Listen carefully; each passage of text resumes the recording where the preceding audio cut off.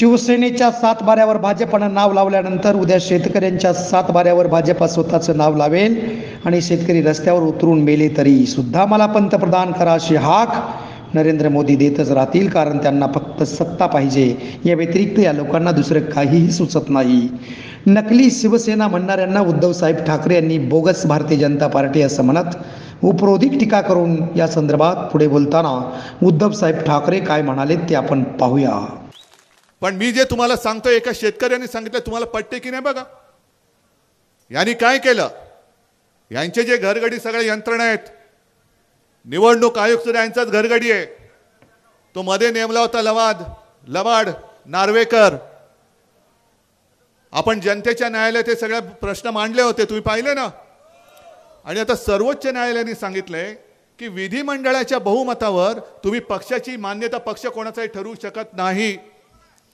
पण यंत्रणा ह्यांच्याकडे निवडणूक आयोग यांच्याकडे लवाद यांच्याकडे ज्याप्रमाणे सुरतेमध्ये त्यांनी एक चमत्कार केला आणि भाजपचा उमेदवार बिनविरोध निवडून आणला काँग्रेसच्या उमेदवाराचा अर्जच अवैध अवैध करून टाकला. मग ह्या सगळ्या यंत्रणा त्यांच्याकडे असल्यानंतर मी असं म्हणेन जे मला शेतकऱ्यांनी सांगितलं मला म्हणाले अहो उद्धवराव तुमच्या शिवसेनेच्या सातबाऱ्यावरती यांनी गद्दारांचं नाव लिहिलं आमच्या सातबाऱ्यावरती यांनी दुसऱ्याचं नाव लिहिलं तर आम्ही कोणाकडे जावं? कारण यंत्रणा यांच्याकडे जर आता परत हे दुर्दैवाने निवडून येणार नाहीच काय द्यायचं नाही निवडून ते मी तुम्हाला सांगतोय. हे केवळ शिवसेना संपवण्याचं कारस्थान नाही. उद्या तुमच्या सातबाऱ्यावरती कोणाचं तरी भलत्याचंच नाव लिहिलं यंत्रणा कुठे तुमच्याकडे? काय कराल तुम्ही? रस्त्यावरती उतराल. उतरा रस्त्यावर. अरे मेलात तरी चालेल. तुम्ही जगा किंवा मरा पण मला पंतप्रधान करा.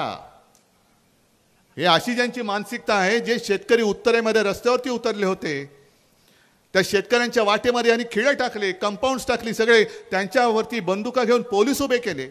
ड्रोनमधनं अश्रुधुराचे गोळे सोडले. येऊ नाही दिलं दिल्लीमध्ये. कोणाकडे तुम्ही दात मागणार? मागू शकता दात सगळे दरवाजे तुमचे बंद झाल्यानंतर तुमच्या सातबाऱ्यावरती गद्दारांचं नाव लिहिलं तर महाराष्ट्राच्या सातबाऱ्यावरती कोणाचं राहून देतील ते? महाराष्ट्राचा सातबारा हा त्यांच्या बापाच्या मालकीचा नाही तो माझ्या या शेतकऱ्याच्या मालकीचा आहे.